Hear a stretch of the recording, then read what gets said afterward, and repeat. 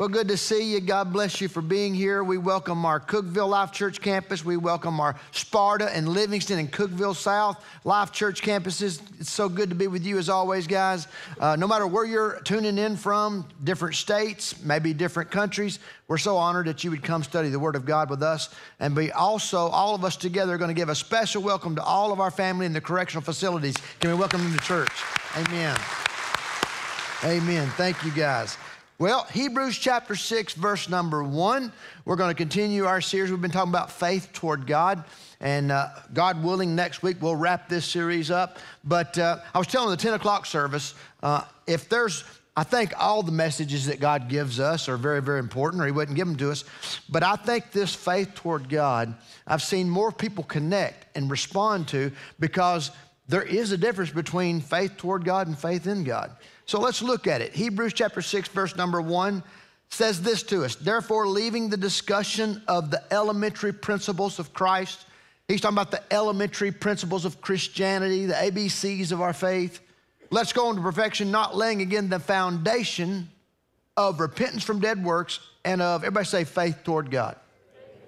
So, according to the Holy Spirit through this writer, that uh, elementary principle of Christianity is faith toward God. Not faith in God, but rather faith toward God. And there's a big difference.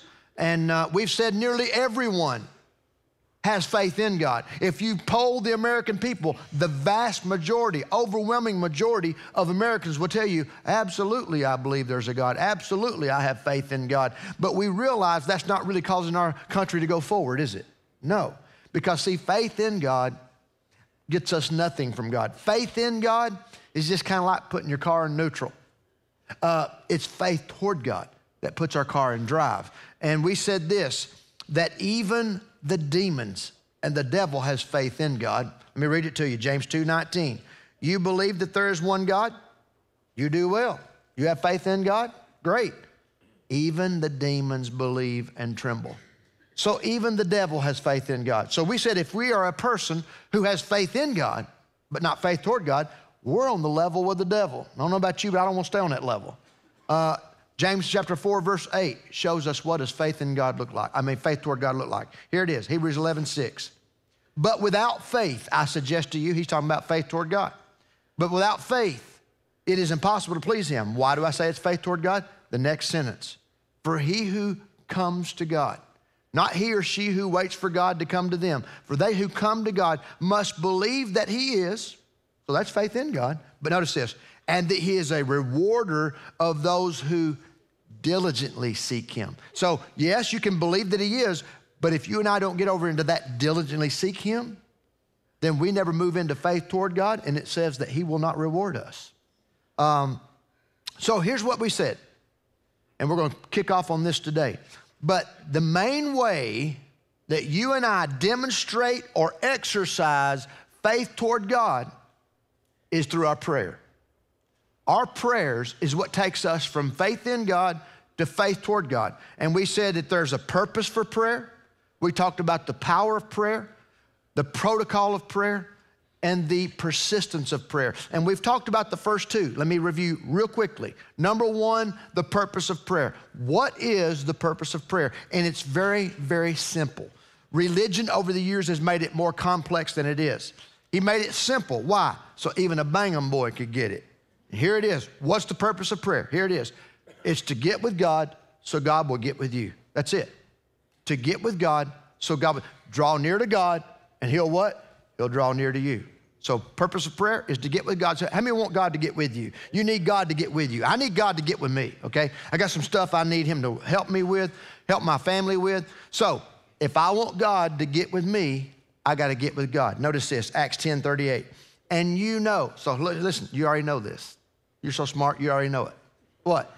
And you know that God anointed Jesus of Nazareth. So you know that the Father anointed or empowered Jesus of Nazareth with the Holy Spirit and power. Then Jesus went around doing good and healing all who were oppressed by the devil, for God was, everybody say, with him.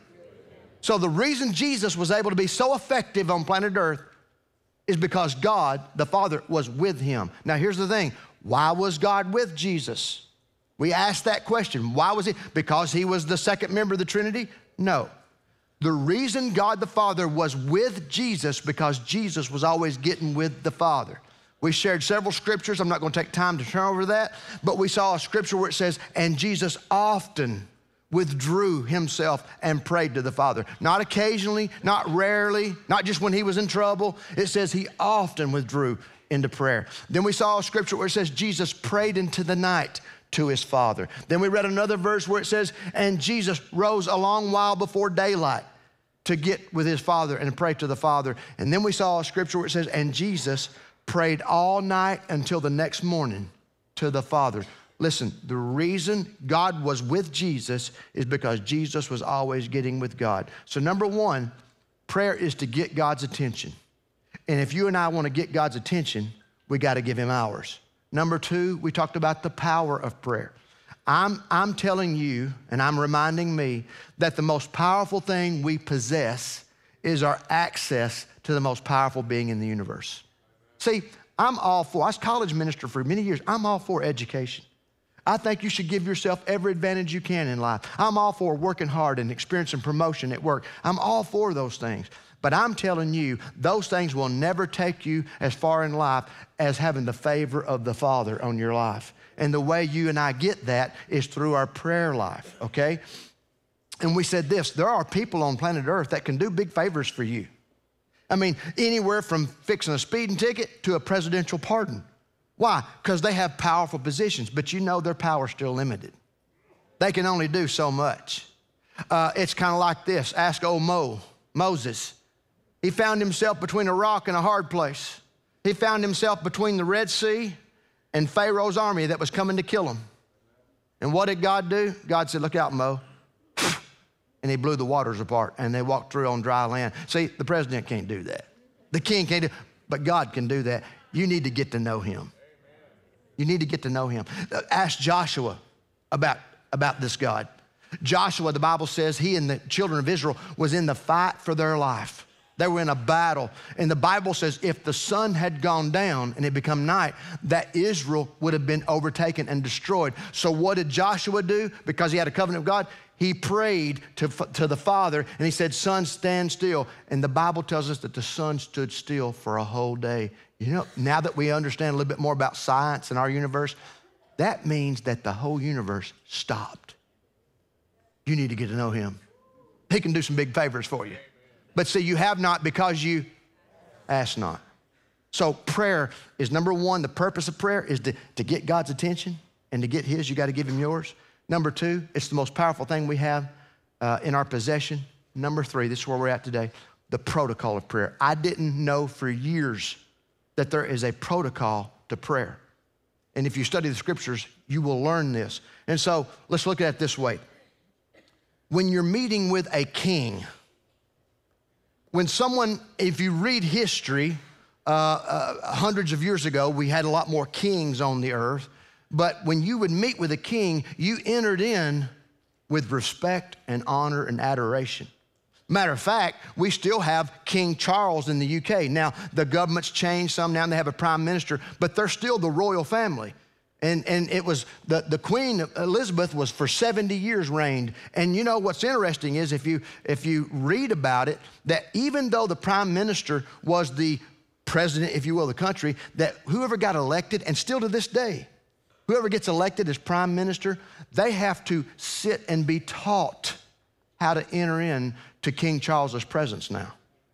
And they go in and they say something such as, Your Highness or, or Your Majesty. Now, I've been working with my assistant Janetta on this, and uh, somehow I'm not teaching good or she's not learning good. I'll go in, I'll say, now which one are we going to use today? Your Majesty, Majesty or Your Highness? And she said, well, really what I'm wanting to use, I can't say. she has no respect for the mayor of Bingham here. But we need to understand something here, guys. In all seriousness, we need to understand something. God is not just our Father, He's a King. Matter of fact, He's not just a King, He's the King of Kings and the Lord of Lords. Matter of fact, the Bible tells us how to approach him. Psalm 100, verse 4 says, Enter into his gates with thanksgiving and into his courts with praise, with adoration and admiration. Be thankful to him and bless his name. See, I do agree with people who, I hear people teach on prayer and, and phenomenal teachers. And I believe they're accurate when they say, hey, when you go in before God, just tell him where you're at. He, tell him how you feel about things. And, and it's a conversation with God. And I agree with that to a point. Here's what I mean by that. I've heard people teach, hey, if you're mad at God and you just, you, I mean, you're just angry, just go in and tell him how you feel to a point. Okay? I, I mean that to a point. Don't forget to respect him. He is the king after all. He did give you and I life after all. And so I think we can become irreverent if we're not careful. Does that make sense? I was with a guy one time, and I was 12 or 13 years old, and he was a logger. And I was earning some money, and so I was out there working with him, and his bulldozer broke. And this guy comes off that bulldozer and looks up at the sky and starts cussing God. And you blankety blank blank, and I don't know why you hate me so blankety blank much. And I'm just going, mm. listen, he's a big dude to cuss at. But how disrespect, does that make sense? And he wonders why his life is never good. Well, you can't curse the one who gave you life and your life be well. So, my point is, we can't forget yes, he's our father, but he's also the king of kings. So, there's a protocol into coming before his presence. Now, let me show you, Jesus talked about it in Luke chapter 11, verse 1, very familiar. We all know this. Now it came to pass as he was praying in a certain place when he ceased that one of his disciples said to him, Lord, teach us to pray. Teach us how to go before the Father, as John also taught his disciples. So he said to them, When you pray, so I'm going to tell you how to approach the Father, guys. Listen up. It's Jesus. When you pray, say, Our Father in heaven, hallowed be your name. Make sure that when you come in, you're hallowing, you're respecting, you're honoring. He's the King, maker of heaven and earth. He is the Lord of Lords. Make sure you approach my Father with respect. There's a protocol to come in before His presence. See, like I said, it, there's a protocol when meeting with a king. There's a protocol with meeting with the President of the United States. My nephew has been in the Secret Service right at 20 years now. He was Secret Service protection for President Bush, President Obama, President Trump, and now President Biden. And he will tell you there's a protocol when you go in to meet with the President of the United States. You don't just slide in and go, hey, dude, what's up? Give me five. You don't do that. Matter of fact, you're searched before you go in and meet with the President of the United States. There's just certain things you can't bring in when you meet with him. Did you know that there's certain things we can't bring in when we're meeting with our Father? There's certain things you're gonna have to keep outside. Let me I'll, I'll share two of them with you. Number one, the first thing we are not allowed to bring into God's presence, the protocol, is doubt. You can bring it in, but if you do, you leave with nothing. Let me prove it to you. James chapter 1, verse 5. If any of you lacks wisdom, stop. It could be anything. If you lack peace, if you lack joy, if, if you're hurting financially, if you lack health, because we know God answers all, right? But this is, he's talking about if you lack wisdom in a certain area. If you lack wisdom, let him ask of God who gives to all liberally and without reproach, and it'll be given to him. First thing he wants you to know is our God's a giver. He loves to give to his children, loves it. But notice the next word, but. Everybody say, but. The big but always gets in the way, don't it? Even though God's a big giver and he loves to give, but what? Let him ask in faith. Notice this now with no doubting. How much doubting? None. Leave it outside, he said. Leave that outside. Why? Because you're going to attack my integrity. You come in here with doubt. So, no doubting. Notice this now.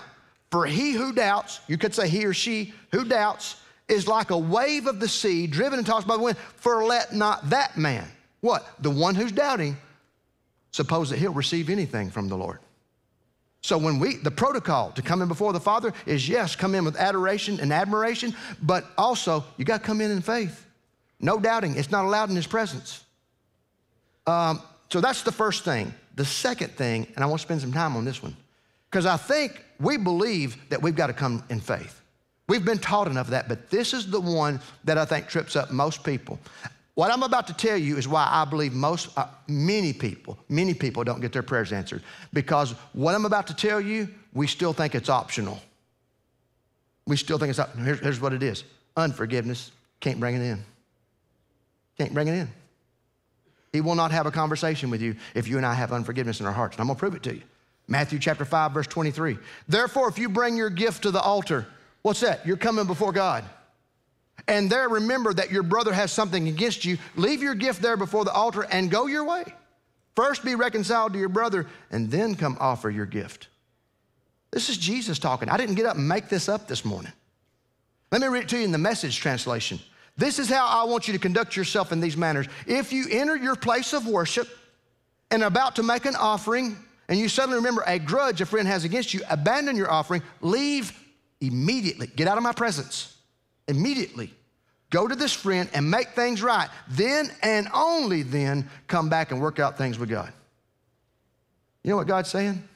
When y'all start speaking, me and you can start picking. Now listen, you can't affect what the other person does. If they, listen, forgiveness you can do all by yourself. Reconciliation takes two. He didn't say go reconcile. He said go forgive. Reconciliation will take both parties. But what he's saying is you got to make sure your heart's right. So, you know what God's saying? If you go to him in prayer and there's another brother or sister in the Lord that you're still angry with or you've not forgiven, Here's what God's saying if you won't speak to them, don't speak to me. That's tough because we still think, yeah, I know that. No, no, no, no, no. Let me show you Mark 11, 24. This is the famous faith scripture. We love this. Notice, therefore I say to you, whatever things you ask, when you pray, believe you receive them and you'll have them. Stop, look up here. Man, we love that. I get up here and tell you, man, faith is kingdom currency. If you want something from God, you got to go in there and you believe you receive when you pray. God, I know you're able and I know you're willing and I believe I receive. When I, and I think most people believe that, but they stop right there and God doesn't stop right there. Notice the next word, and. Everybody say, and. So this makes that conditional. And whenever you stand praying, if you have, now listen to this. I'm talking to you. I ain't talking to your neighbor, I'm talking to you. Jesus is talking to you. If you have anything against anyone, we'll say it again. If you have anything against anyone, one more time. If you have anything against anyone, yeah, but you don't know what they did. He said anything against anyone. Yeah, but they did anything against anyone. Notice this forgive him, that your Father in heaven may also forgive you your trespasses. But if you do not forgive, neither will your Father in heaven forgive you your trespasses. Do we really believe that? We say amen, we say we do, but we still don't do it. Well, Pastor, you don't know what they did. Let me say it again anything against anyone. Love yourself enough to forgive. Love yourself. Why? Because God's saying, until you speak to them, don't speak to me. Why? Because even though you have a problem with one of God's children, He still loves them. If you got more than one kid in the house, you know exactly what I'm talking to you. When your kids fight and fuss, it robs all the peace in the home, don't it? So he says, if you've got anything against anyone, you get that right, and then me and you can get it going on. This is the one I believe where most prayers are not getting answered, guys. I really believe this. We think this is optional. Let me talk about me, because I'm right there with you. About seven years ago, and I haven't talked about this in a long time because God's done a lot of healing in me. About seven years ago,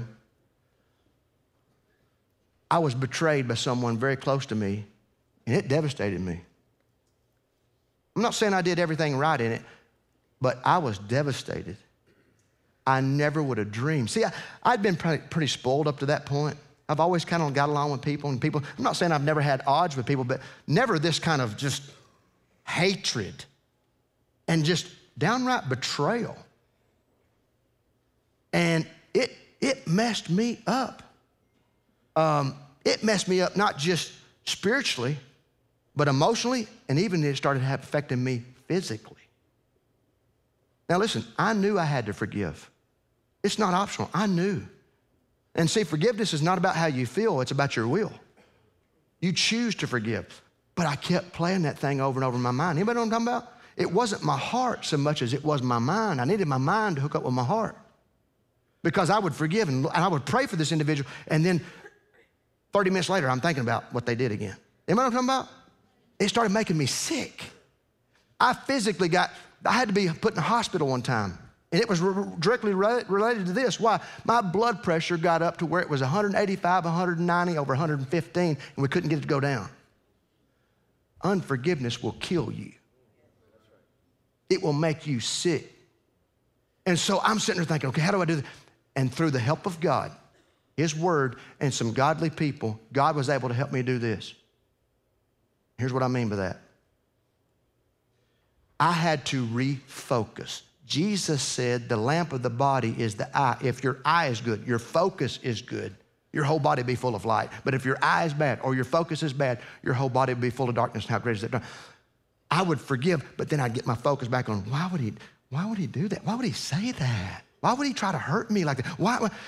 And what God was able to help me do is get, remember it says, look unto Jesus, the author and finisher of your faith. And here's what happened. I began to get my focus off of what he was doing to me, and I got my focus back on what he had done for me. See, every day you got a choice to make. We got a choice to make. You can get up and focus on what somebody's done to you, or you can focus on what he's done for you.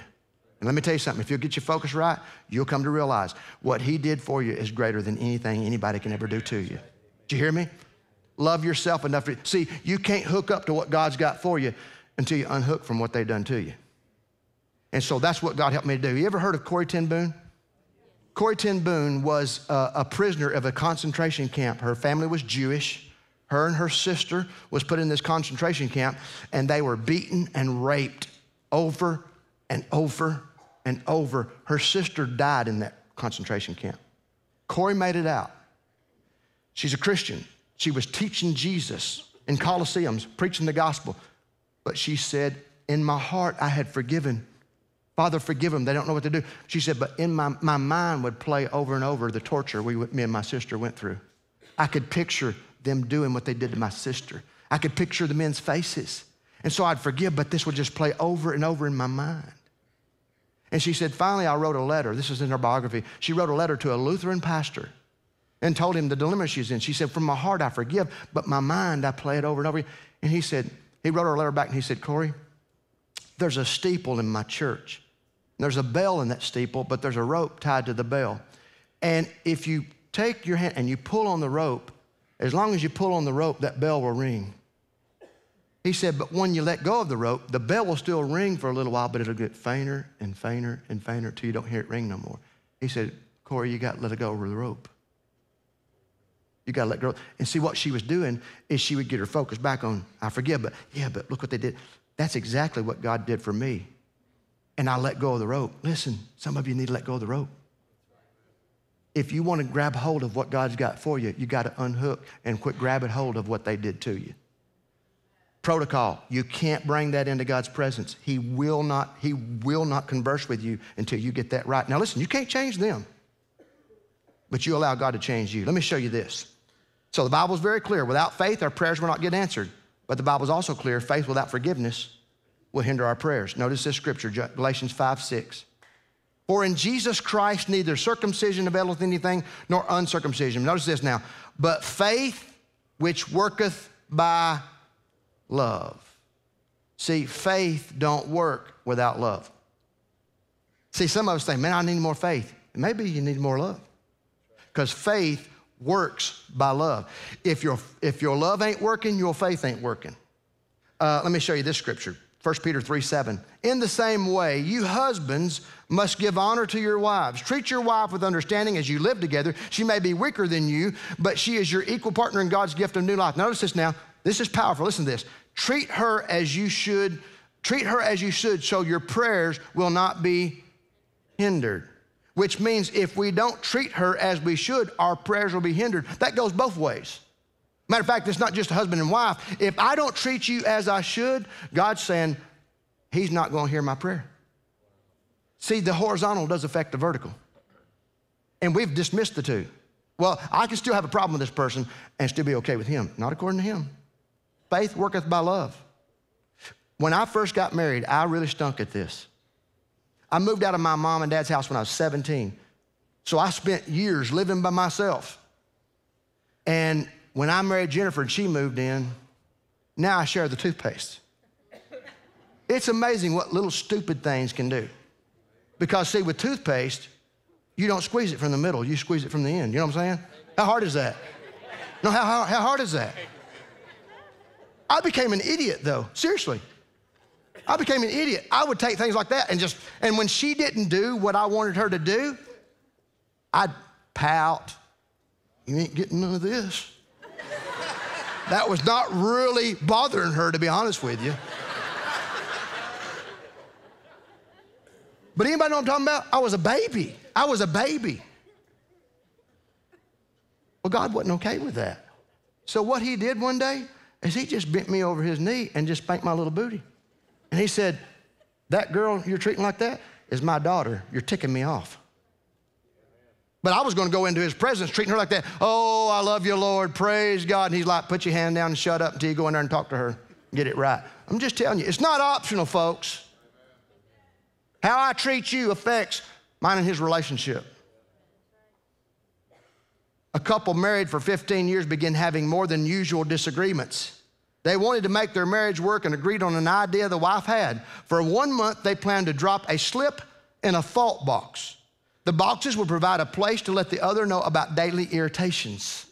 The wife was diligent in her efforts and approach, leaving the jelly top off the jar, wet towels on the shower floor, dirty socks in the hamper, not shutting the cabinet doors, and on and on until the end of the month. After dinner, at the end of the month, they exchanged boxes.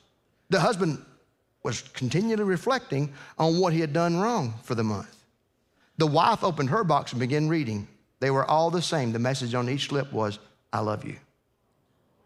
Take that home, girls. Anyway, uh, it can go both ways, can it, girls? You know what he was saying? This is biblical. For every fault, he was covering it with, I love you. See, the Bible says in 1 Corinthians 13, verse 5, love keeps no record of wrong. You know what some of us are real good at? Keeping records. We keep records, even those of us that ain't good administrators. We got that little record book. I remember when he did this, I remember when she did that. And we go around all day long just evaluating how people treat us. Can I, let me, let me set you free a minute. Nobody's gonna like you like you do. Did you hear me? People are not gonna get up tomorrow morning and think about you the first thing and how can I treat them today? They don't think like that because they're thinking about themselves. Are you listening to me? The people that I know in life that keep good records on how people treat them are the most miserable people on planet Earth. Are you listening to me? Well, he did this and she did that and she did. We might not be hysterical, but we're pretty historical. Well, he did this and he did that.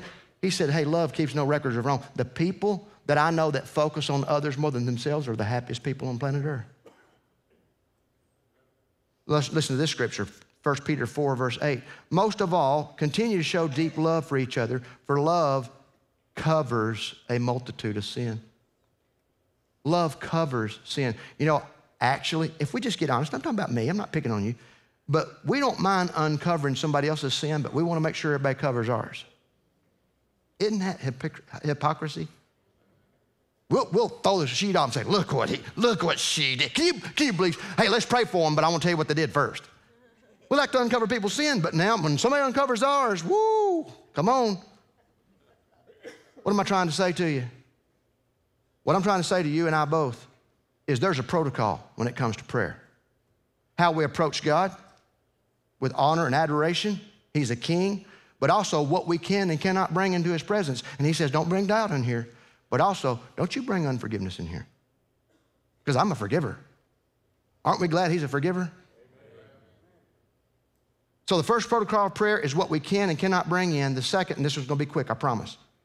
The second protocol of prayer is about not about what we can and can bring in, but how we come in. Notice this, John 16, 23. And in that day, let me stop, tell you what he's talking about. There's a day that was coming that he was telling them about. He said, in that day, and what day is he talking about? I'm gonna show you. He was talking about when he dies on the cross and he's resurrected and he goes back to the Father. That's the day he's talking about. Now notice, in that day you will ask me nothing. Most surely I say, whatever you ask the Father in my name, he will give you. Until now, you've not asked nothing in my name. Ask and you will receive that your joy may be full. Listen to what Jesus was teaching them. See, before that day he's talking about, they had to always go to Jesus for help. Hey, Jesus, this man can't walk. Can you go heal him? Hey, Jesus, these people are hungry. Can you give them something to eat? Hey, Jesus, this person's sick. Can you open their blind eyes? Hey, he said, but in that day, what? The day that I die and bring you and the Father back, you don't have to come to me anymore. You can do it in, in my name. That's the day. I'm going to explain what I mean by that to you. But we're talking about the protocol of prayer, how we go in. See, for years I didn't know that we don't pray to Jesus, we pray through Jesus. Now, you're not wrong if you talk to Jesus. Yesterday in my living room, I was just, thank you, Jesus, for your goodness. Thank you for dying on the cross. I sing songs to Jesus. But when it comes to prayer and receiving in prayer, Jesus said, in that day, what? The day I reconcile you to the Father, you don't come to me no more. You come through me to the Father. Does that make sense, guys? So it's not biblical to pray to Jesus. It's biblical to pray through Jesus to the Father. Let me show you this. I'm going to skip down, guys, to John 15. John 15, 16. Jesus said, You did not choose me, but I chose you and appointed you that you should go and bear fruit and that your fruit should remain. And whatever you asked, everybody say the Father. The Father in my name, he may give you. He's saying, You're not going to ask me no more. You're not going to pray to me. You're going to pray through me to the Father. So let me, let me sum it up with this. At salvation, the moment we, you and I accept Christ, we are immediately married to the Lord Jesus. We become the bride of Christ at that moment. It's a, let me put it this way the cross is the most expensive engagement ring that's ever been purchased. The cross was Jesus saying, Will you marry me? The cross is him getting down on one knee and saying, Here's my engagement ring. What do we have to do after that? At salvation, we just say, I do. I do. At that moment, though, the moment you and I receive him, we then become married to him and we take his name. Just like on August the 14th, 1992, Jennifer Stewart took the name Jennifer Davis. And here's what Jesus is trying to teach us. When Jennifer took my name, she also took my checkbook. That's what he's saying.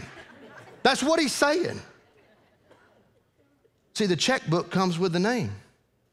Give you, let me give you an illustration to explain this. So you've got a single mom. She's got four kids.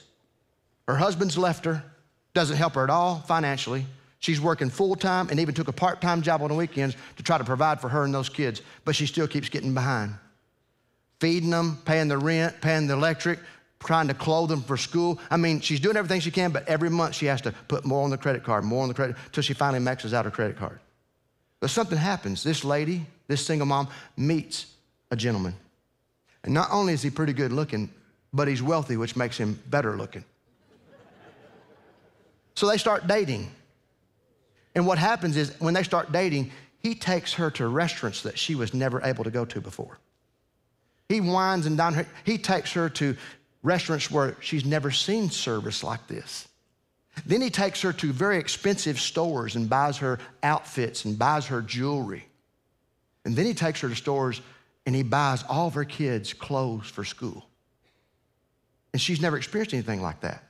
But something happens. They go from dating to they get married. Now, the day they get married, she not only took his name, but his credit is now her credit. She don't have to have him to go to the restaurant. She can go on her own and take her friends with her. She can go straight to the restaurant in his name. See, when he married her, the first thing he did is paid off all of her debt. See, that's exactly what Jesus is saying. In that day, I'm gonna pay off all your debt. See, you have no credit in heaven before Christ. We're bankrupt. But the moment we marry Jesus Christ, he pays off all of our debt, all of our debt, and then his credit becomes our credit. And he says, now you can go straight to the Father in my name. Just like that lady can go straight to the store in that man's name and get whatever she wants. Why? Because his credit is our. If we'll ever get a hold of this, mm, notice this Romans 8, verse 16. For his Holy Spirit speaks to us deep in our hearts. Spirit of God speaking to you if you're a child of God, and listen to what he's speaking, and tells us that we are God's children. And since we are his children, we will share his treasures. For everybody say everything.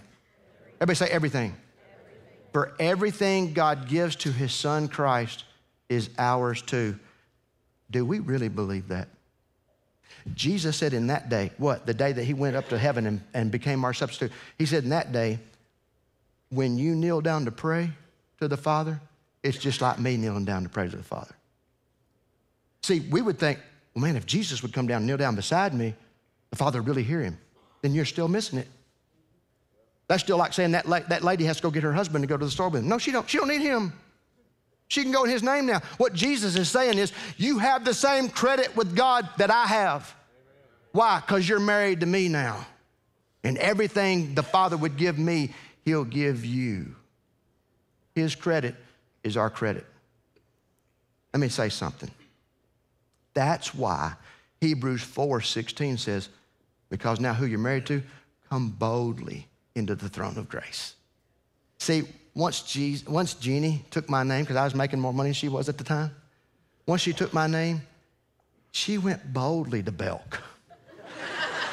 boldly. She didn't go, uh, should I or should, do you think they'll take, I'll take that and that. Thank you very much. Matter of fact, you can even wrap it. Jesus is saying, because you're married to me, you're no longer bankrupt. You're loaded. Spiritually, you're loaded. Why? Because you got my name. And because you got my name, your name is now on my account. So the protocol of prayer. So, number one, the purpose of prayer is to get with God so God will get with us. The power of prayer. We have access to the most powerful being in the universe. He's just saying, come on in. And the protocol of prayer. What's the protocol? Number one, we're coming before a king. So we enter in with adoration and admiration. But the protocol also is there's certain things you can't take before the President of the United States. You have to leave it outside. There's things we can't take into God's presence. We can't take doubt, and we cannot take unforgiveness. Love yourself enough to forgive.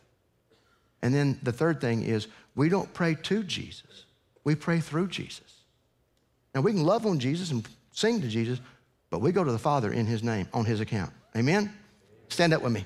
Next week, we're going to talk about the persistence of prayer. And I'll just tell you this what we're going to find out next week is some of us have given up too, quick, too quickly. He's going to tell us how we get our prayers answered through persistence. Father, thank you for your love. Thank you for your goodness. Thank you, Lord, that we have your name. Wow, what a great God you are. Lord, I ask you to speak to the, to the people today. If there's anybody that's not where they need to be with you, may they make that right today. Head bowed and eyes closed. Question we ask every week, but here it is. Where are you at with Jesus?